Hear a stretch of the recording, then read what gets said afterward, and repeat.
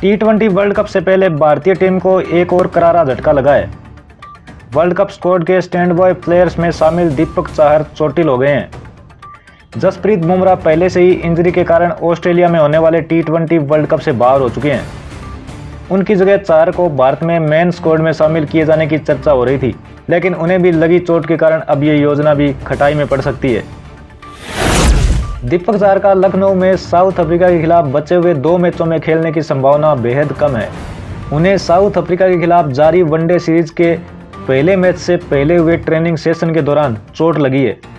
बता दें कि टखना मुड़ने के कारण चाहर उस भारतीय टीम की प्लेइंग इलेवन का हिस्सा नहीं थे, जिसे शुरुआती मैच में दक्षिण अफ्रीका के खिलाफ नौ रन से हार का सामना करना पड़ा था।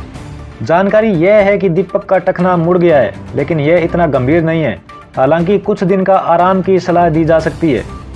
ये टीम मैनेजमेंट का फैसला होगा कि वे दीपक को खिलाने का जोखिम लेना चाहेंगे या नहीं, क्योंकि वह टी ट्वेंटी विश्व कप के लिए स्टैंड बॉय सूची में शामिल है।